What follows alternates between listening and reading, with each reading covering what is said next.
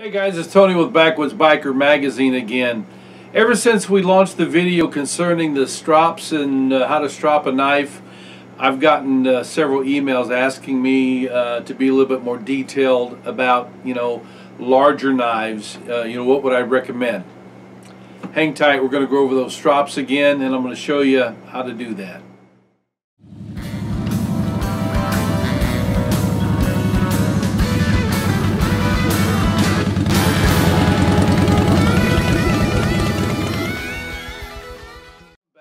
Um, a lot of questions come in about the strops that I was showing you by Wood Tramp Gear. Uh, they come in four different sizes. Uh, we've got the field size that is called uh, the Nessmuk. Uh, it's about six inches long by inch and a half wide, suede on one side, smooth top grain leather on the other side. Um, oak wood is what we use, just it's just sturdier, it's dense. Um, this guy retails for $13.99 on the website great for a field sharpener, or excuse me, for a field strop system. It's very light, small, compact. Uh, the next size is the Kephart, and again, same type of leather suede, top grain, uh, oak. Everything's the same with that, except it's just bigger, as you can see. Uh, it's six by about, about three inches. Um, you can fit this in your pack as well, um, but a lot of guys use these on their bench. Um, and you know some do take them out into the field especially when it comes to axes and I'll show you that in a second. Next size up is the Crockett. The Crockett is approximately 10 inches long same 3 inches. Everything's the same about these. It's just the size that I'm showing you here. And obviously you know this is something that you would have on your bench at home. It will have some limitations as to what you can do uh, long machetes. This doesn't work real well with. You can but you just you know it's going to take you a little time and a little bit of effort you know because your machetes are going to be longer. Uh, this will do larger knives obviously. And then we have the Boone uh, and by the way um, the I told you that the Nessmuk was $13.99 the Kephart is $19.99 the Crockett is $24.99 and this guy here which is called the Boone and it is uh, right about 18 inches. It's, it's almost uh, 21 inches including the handle. Uh, but your surface your usable surface is 18 inches by 3 inches. It's it's a hefty size. Um, this one happens to be made out of Spanish cedar uh, but we will not be uh, doing these in Spanish cedar because it's an unstable wood. Uh, this is happens to be my personal that I, I, keep around for mine because of that fact. I won't sell this. Um, it's just something I experimented with because I had it laying around when we were doing it. Um, and I realized right away, uh -uh, isn't going to work. So oak will be again. Again, this is $49.99.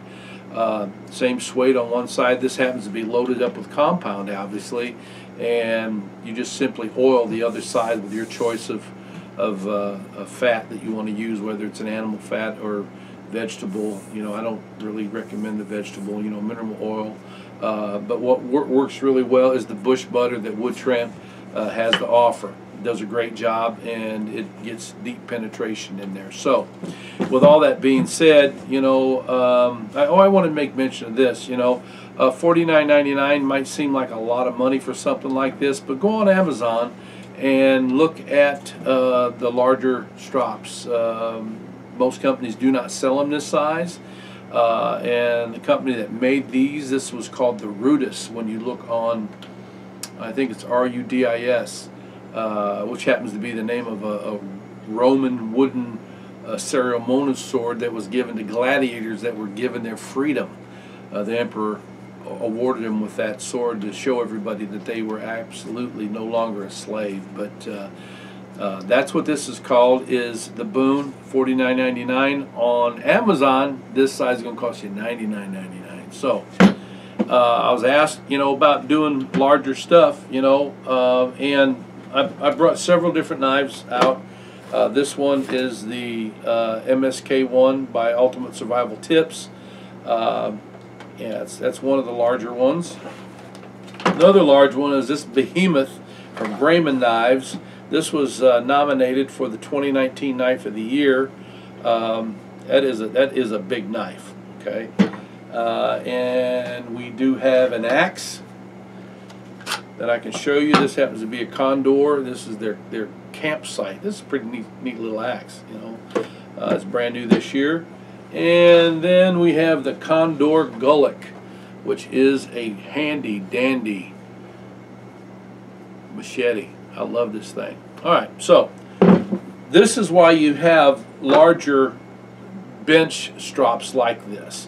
All right, um, you know, uh, one of the emails that came in asked me, why can't I just keep honing the knife? Well, you, you can, but every time you run a hone across the blade, you are removing steel uh, and you are uh, just taking away from what you have there. You want to keep your resources right, you know.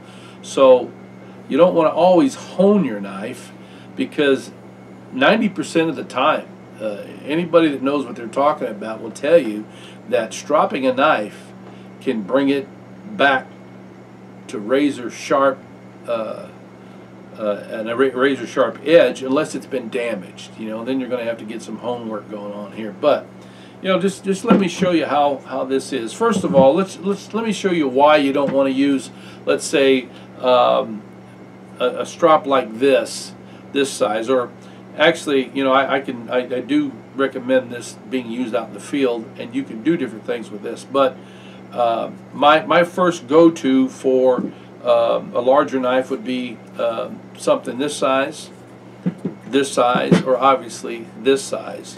Uh, but when you're out in the field and you have an axe like this, uh, you're not going to want to take this. You know, this can work, and it doesn't have any compound on it, but the way that you strop a, a axe is to keep the handle away from you and just run that strop across there like that. Flip it over after you're done from that side you do the suede side first with the compound, and then you flip it over and you do it exactly like that. Count your strokes with the suede side, and then you do the same amount with your top grain side, the smooth side, all right? And that is perfect for that. You know, you can do the same thing with knives, even big knives with these, uh, but you're you're going to have to really pay attention to what you're doing here. Okay. Just do it the same degree that you have sharpened your knife with. Always lead with the spine when you're stropping. Right? Then you flip it over and you do it again. Same angle. And you just let the weight of the knife right along that. So, I mean, you can use these for that, all right, for these bigger knives too. So, let's talk about using the Boone. Why do I have a strop this size? Well, it's because of, of blades like this that I'm really wanting to work on before I take them out in the bush. I'll, I'll get them right with a file, with a stone, and then when I want to finish them off, this has already been, uh, I had this out and when I come back I take care of my blade to get it ready for the next time so I don't have to worry about it. This has already been filed down and it also has had a stone on it uh, and it it's pretty sharp but this is what I do with this here. This is why we have these larger ones here. You don't have to hold it up but again you let the weight of the blade do its thing. Pull it with the spine towards you and just bring it on down. Stay that way right there. You can see that, how easy that makes that when you're doing it like that. That's two. There's three. And I'm not pressing at all, man. All I'm doing is taking this thing out for a walk. I'm helping guide it. That's all I'm doing. It's like when I take Tater out on the leash, you know. Tater thinks he's in control, but he's not. This blade thinks it's in control, but it's not. All right, and then you do the same exact thing back the other way. You know, I'm gonna go ahead and lay it down. Just let that, let the weight of the blade do its thing. Hold still there, bud. Just the weight of the blade, same angle. All right. Then I'm gonna flip it over. Wipe it off first.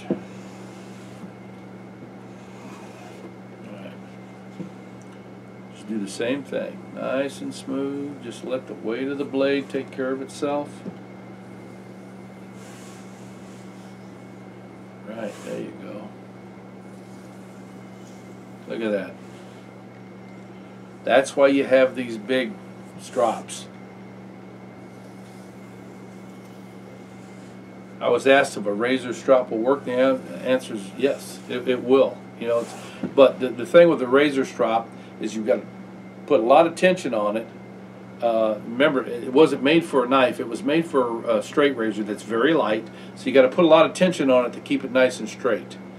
Otherwise, you risk rolling the edge on it. Okay. Yes, you can use that, but you got to be super careful. With something like this, it's on a rigid background. It's not ever going to bend. Always, always the edge is going to be true. It'll always be true for you. Okay? So, there you go for that. And then if you're doing a knife, knife is the same thing.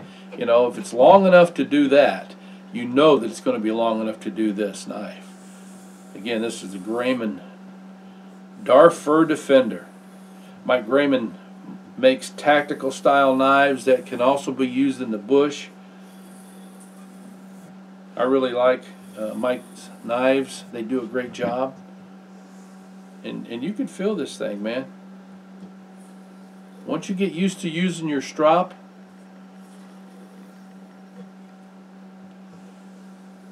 it's got a sound to it. All of them have a unique sound. They talk to you. They'll let you know what you're doing right or if you're doing it wrong, you know. And again, I mean, if you want to use this type of a strop on your on your axe, you can. or you can use the smaller ones. Uh, small knives, yeah, sure. This is a neck knife uh, from Ultimate Survival Tips. This is uh, it's just he just calls it his neck knife, but I mean you do the same thing with this. Look at that. Little knives are real easy on these big surfaces, right?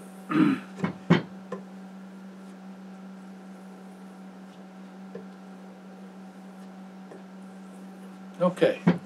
Real simple stuff, you know. Strops are essential if you're going to want to keep your blades right um, and you want to save the resource of the steel that's in your knife. You don't always reach for a hone. You don't always reach for a stone. You know, a strop will do a lot to bring that back up to being shaved sharp. Uh, nice knife, all right? Um, one of the other questions that I want to address was how, how come uh, Wood Tramp Gear strops are so cheap? Well, everything that we have, we sell very, very reasonable. Our motto is um, common gear for the common man at common prices. You know, this is just all common stuff, you know, and we want to keep them reasonable for everybody. Um, and uh, I'll, I'll be honest with you, we make all these by hand, and we don't have a bunch of special tools to cut the leather. You know, so some of the leather is going to have a little bit of a ragged edge on it, maybe. It doesn't affect anything. You know, what's really important is that you've got a good base, you've got good leather on both sides, and you've loaded it properly on one side. And you can use any compound. Uh, you know, a lot of guys have bought in three or four of these and have loaded them up with different compounds. Uh, and uh, actually, had we've had one customer bought three of the Boones, uh, and he's got them all loaded up with different compounds. Um, he has a knife sharpening service uh, and he's used other strops, and he thinks that ours is the the best he's ever had. You know, so we try to keep things cheap uh, for you, not cheaply made, but cheap in regards to price. Uh, you know, so we don't invest, you know, in all the leather trimming tools, you know, that are made for that with the guides and all that. Man, we just we cut them down, you know, by hand, and that's why you can get a you know these are about uh, $35 this size just any website you look at you know. But from us the uh, uh, Crockett is $24.99 again here you have the Nessmuk it's $13.99 field strop another field strop or bench strop is this the Kephart which is um, $19.99 Crockett's $24.99 and this guy here the Big Daddy is $49.99. Uh, and they should last you a lifetime. You can always clean them up, uh, recharge them, and they're good to go. So that's it. You know, I hope that helped you out. You know, if you got big blades like a, a machete or big knives like this Grayman Darfur Defender or even the Ultimate Survival Tips MSK1. They all do well on this and uh, axes, whatever you got, you know. So appreciate you watching. Hope it helped you out and answered your questions. Go out to woodtrampgear.com if you want to see uh, if any of these are still available. It's Christmas time right now, so we've we've been selling out a lot of stuff. So. Uh, you know, send us an email if you're wanting to know any more information. Right down there is the email, tony at backwoodsbiker.com. As a matter of fact,